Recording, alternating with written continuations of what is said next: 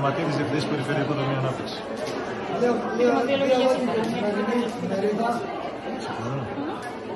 Λοιπόν, η σημερινή διαδικασία κληθήκαμε από το επιμελητήριο ε, σε αυτήν έτσι τη σημαντική διαδικασία που έχει σχέση να κάνει με τον πλοηγό να πούμε εμείς ως Περιφέρεια και Περιφερειακό Ταμείο τι κάνουμε, που είναι ο συντονισμός αυτή τη στιγμή όλων των διαδικασιών που έχουν να κάνουν με την επιχειρηματικότητα, την καινοτομία στην περιοχή μας με τις διάφορες δράσεις και επιπλέον να μπορέσουμε να δείξουμε στους ε, ανθρώπους που έχουν επιμορφωθεί, στους ε, πολίτες της Δυτικής Μακεδονίας αλλά και στις επιχειρήσεις, το εργαλείο που είναι δικό τους εργαλείο και εντελώς δωρεάν, το εργασία PDM,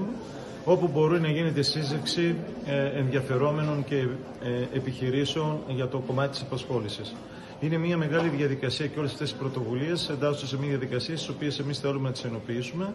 και να μπορούμε από όλα αυτά να βγάλουμε το καλύτερο δυνατό για το τόπο μας. Γιατί υπάρχει πολύ μεγάλο πρόβλημα.